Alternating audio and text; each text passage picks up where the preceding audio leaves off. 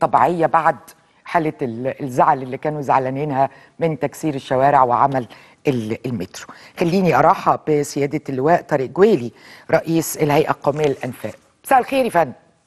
كتير إزيك يا أستاذ عزة؟ أهلا بحضرتك. باشمهندس مبروك مبروك الافتتاح. الله يبارك في حضرتك وأنا يعني باخد من كلام حضرتك وأنا بنعتذر بنقدم اعتذار عن كل الناس اللي حست أو شعرت ب آه، دي من إحنا كنا شغالين في في المحطات أو في الشوارع.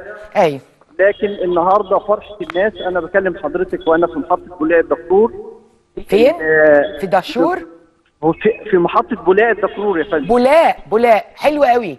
آه قول آه، قول آه. لي بقى المحطات دي هركب منين وأروح فين وأنزل أروح في يعني اللي اتفتح الخمس محطات دول يخدموا مين رايح فين وكم مواطن تمام يا فندم.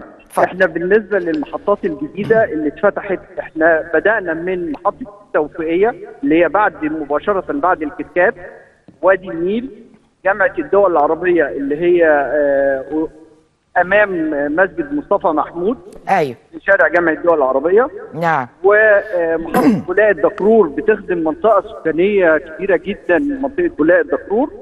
والوصول للمحطة النهائية اللي هي جامعة القاهرة عشان آه، نربط مع الخط الثاني لمترو الأنفاق في محطة جامعة القاهرة. تمام. فالخمس محطات الجداد اللي اتفتحوا دول آه. آه، أنا الحاجة اللي إحنا لاحظناها النهارده إن عدد الركاب اللي كانوا في محطة آه، جامعة القاهرة كبير جدا آه. وأنا لما سألت الناس طلبة. في ال- في ال- في القطر وإحنا جايين قالوا إن هم كانوا بينزلوا يركبوا العتبة يعني يغيروا من الخط الثاني في العتبة. ويكملوا الخط الثاني دلوقتي خلاص هو اللي جاي من روكسي هيكمل في الخط الثالث مباشرة لحد جامعة القاهرة. يعني اللي رايح عفوا اللي رايح مصر الجديدة يركب من الخط من المحطة دي يروح مصر الجديد. بالظبط كده. واللي عايز من مصر الجديدة من روكسي ينزل منطقة المهندسين يركب الخط ده. بالظبط كده. الله. بالظبط كده. بالظبط. فالخمس محطات الجداد اللي هم الحمد لله فتحناهم النهارده للجمهور تشغيل تجديد الجمهور الخمس محطات بيخدموا مناطق سكانيه عالية جدا منطقة التوفيقية اللي فيها نادي الترسانه والشوارع المحيطة بيها نعم. ومحطة وادي النيل آه، عند مسجد الحمدية الشاذلية ونادي. الزمالك نعم طبعا شارع جامعة الدول العربية شارع جامعة طبعاً. الدول العربية وحضرتك عارفة كم الكثافة اللي فيه أيوة. آه، منطقة بولاق زي ما قلت وجامعه القاهرة. طيب في حاجة هنا عايز أناقشك فيها يا باشمهندس. اتفضل يا فندم. نوضحها للناس. ناس تقول لك إيه؟ الله طب ما المحطات دي قريبة من بعض. هم عاملين محطات كتيرة ليه في نفس المنطقة؟ فهم الناس.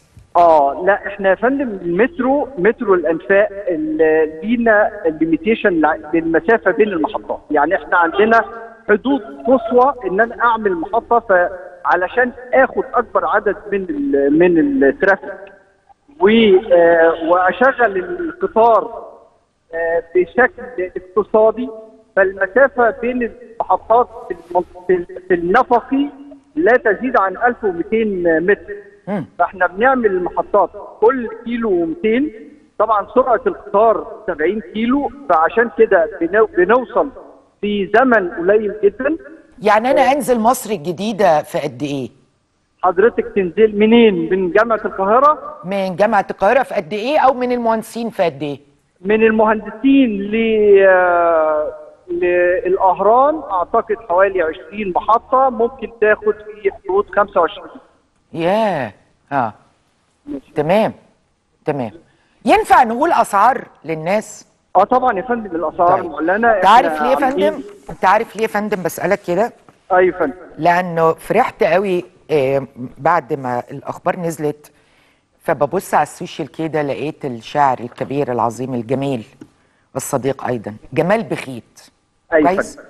عامل إيه على صفحته؟ ورونا صفحة أستاذ جمال بخيت يا جماعة الشاعر أيوة. الكبير. قايل بعد افتتاح محطة للمترو بالقرب من مكتبي قررت أعمل اشتراك حتى لو هستخدمه نادرا. تمام تمام. بص الجمال بقى إحنا عايزين بقى كلنا نركب المتروات دي بقى. لا لا يا فندم إحنا اولا أسعار التذاكر عندي تسع محطات ب 6 جنيه. تسع محطات ب 6 جنيه. تسع محطات ب 6 جنيه. ال ال- 16 محطة ب 8 جنيه. ما شاء الله. 23 محطة آه. ب 12 جنيه ونهايه الخط اللي هو ال 34 محطة ب 15 جنيه. طب هايل. ده ده بياخدهم توك توك. آه، بالظبط كده. يعني آه، هو دايما آه. بنقول لهم أنتوا يعني الناس كانت آه، يعني اشتكت فترة كده علشان لما نعم. زودنا 10 جنيه للتذكره وده يعني بعد غلاء ال- المواد الخام طيب. والكهرباء و- خلينا نقول من له حق الاشتراك لأن أنا كمان قريت التفاعل اللي على صفحة جمال بخيت شعر جمال بخيت فلقيت الناس عمالة تقول إيه؟ طب والاشتراك قد إيه؟ وفوق سن ال 60 بكام؟ وتحت ال 60 بكام؟ وللطلبة بكام؟ الاشتراك ظروفه إيه؟ آه، هقول لحضرتك دلوقتي بالنسبة لل بالنسبة ل- فوق ال 60 فوق ال 60 ب 50% لكن معمول اللي فوق ال 70 ب- مجانا بياخد ال- مجانا يركب بيه أي خطوط. ده تمام هتبقى فسحة تجنن اهي آه. فندم آه يعني ف... اللي فوق ال 70 مجانا. مجانا يا فندم. ياخد يعني البطاقة ويروح فين؟ بيروح إحنا في عاملين مراكز لاستخراج ال- لاستخراج الاشتراكات. حلو. في في العتبة آه، مركز لاستخراج الاشتراكات. أيوة. وفي في محطة الأهرام. دول آه، وممكن بعد كده أبعت لحضرتك. أبعت لحضرتك ممكن يتحط على الشريط. أيوه. الأماكن الأماكن اللي إحنا بنوفرها. يلا نعمل كده. آه حلو. آه هبعت لحضرتك. طب والطلبة ليهم اشتراك آه مخفض ها؟ طبعا والطلبه ليها اشتراك مخفض. شكرا. وكنا فتحنا أماكن في الجامعات وال وخصوصا في محطه في محطه صفاء حجازي. حضرتك آه، في أربع- الزمالك. الله يرحمه. أربع نعم. كليات لما فتحنا محطه صفاء حجازي. عدد كبير جدا من الطلبة عملت اشتراكات. و... وفتحنا لهم وفتحنا لهم يا فندم. فتحنا لهم كمان مراكز استخراج ال- ال- الاشتراكات من داخل الكلية. هايل. ابعت لي الحاجات دي. ابعت لي الحاجات دي باشمهندس طارق علشان أقولها للناس ونوضحها وبنشكركم على المجهود العظيم اللي أنتوا عاملينه في وقت قليل واتمنى ان كل الأسئلة اللي كانت بتدار على صفحات ال social media بعد ما آه، حط ال post جمال بخيت انه اشتراكات عاملة إزاي وبكام وهنركب قد إيه وتاخد وقت قد إيه ده تكون كل المعلومات وصلت لكم وكل التحية للسيد وزير النقل. أشكرك فندم. الله يخليك. متشكر جدا يا فندم. شكرا أشكرك. أشكرك فندم.